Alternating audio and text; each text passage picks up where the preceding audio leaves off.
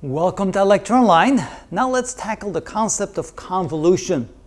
Convolution is kind of a hmm, kind of a confusing subject. So there's different ways of looking at it, and we'll start with our first definition of what a convolution is. We're going to define it in terms of the inverse Laplace transform. It's simply a tool that we can use to make it easier in some cases to take the inverse Laplace transform. What we mean by that is as follows. Mathematically, we write the convolution as the product of two functions.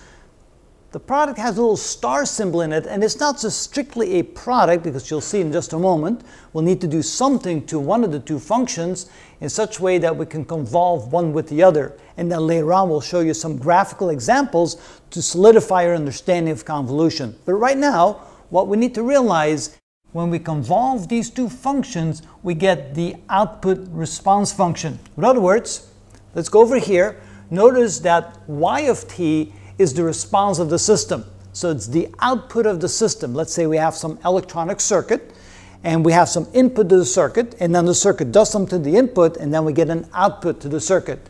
Y is the response or the output of the circuit and we say that as y of t.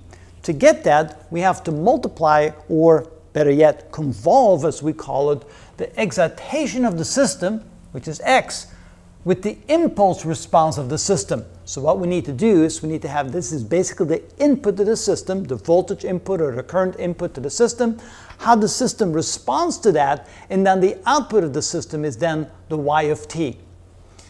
Mathematically, when we convolve these two functions, x being the excitation of the system and h being the impulse response of the system, notice how we mathematically define it. It is the integral of the first function, which is the excitation of the system, so it's the current or voltage input of the system, multiplied times h. Now notice what we've done here. Instead of writing as a t variable, we've taken the dummy variable tau, so that's now our variable, the limit is from 0 to t. And notice that we have it as t minus tau. So first of all, we take the variable, the time variable, and we make that a negative time variable. And then we write it as t minus tau. t, of course, in this case would just be a constant inside this integral sign. And I say, well, what does all that mean? Well, we'll get to that with some examples later. But first of all, notice that this means that it's the product of the two original functions in the frequency domain.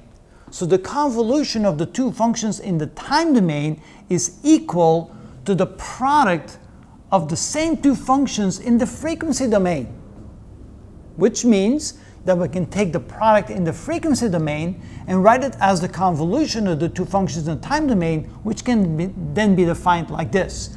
And of course, at this moment, you look at this and go, I'm not quite sure what that means. That's quite all right. Just take it in for now, and we'll show you later how to use it. But ultimately, since we wanted to define it as a tool for the inverse Laplace transform, let's say that we have the product in the frequency domain of 1 over s squared multiplied times 1 over s minus a. Let's say that represents this right now. So of course, if we take the inverse Laplace transform of this, we should get back the original response of the system, which is what we're looking for, the, the oh, well here, the response of the system, y of s. Of course, we're going to take the inverse Laplace transform of this to get back the original function that we're looking for. But notice that if it's defined like this, and we can then realize that it's simply the product of two functions in the frequency domain, then this can be said to be equal to the convolution of the same two functions in the time domain. So this can then be written as the convolution of x of t with h of t. And that is defined as follows. So this is defined as the integral of x of tau, we're going to use the dummy variable, integrate from 0 to t, times h of t minus tau d tau. Now, what are x and h equal to? Those are simply the inverse Laplace transforms of these two functions. Even though they're multiplied, we can simply inverse transform each one of them. Now, the inverse transform of 1 over s squared is simply t. Now, of course, in the dummy variable, x of tau will simply be tau. So this can be written as the integral of tau from 0 to t. So that would be the inverse transform of 1 over s squared becomes tau, and then we multiply that times the, then the inverse Laplace transform of 1 over s minus a. Well, 1 over s minus a is the unit step function, we'll just call it 1, times e to the plus at. So it would be times e to the plus a times t, but instead of t, we're going to write, where do we have it? t minus tau. So the dummy variable becomes tau, so we take t, we take the negative of t, and subtract it from t here. So we're going to write this as t minus tau times d tau.